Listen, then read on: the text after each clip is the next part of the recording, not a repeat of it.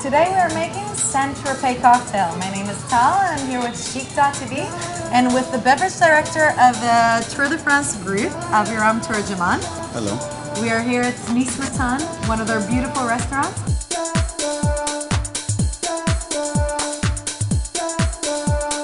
Well, to start, we take about uh, eight mint leaves. Uh, I remove the stems carefully and choose nice ones, just so the stems don't impart bitterness into the drink.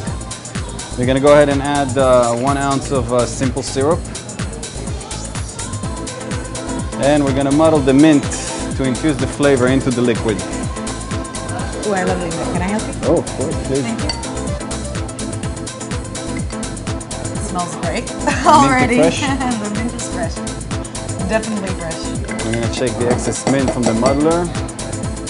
We're gonna add uh, three quarters of an ounce of fresh lime juice. We're gonna add uh, one ounce of uh, Clement White, which is uh, Martinique rum that's made from uh, free-run sugarcane juice and has a lot of character to it.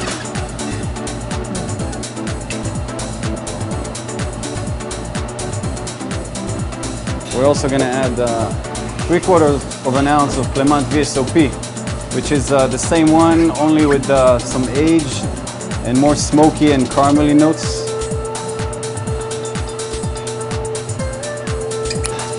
Uh, it's in the shaker. Go ahead, please. Oh, wow. I think that's fine.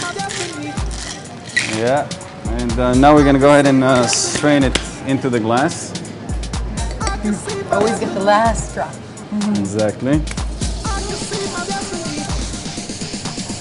Smells nice and minty. Yeah, it does. Oh, nice color.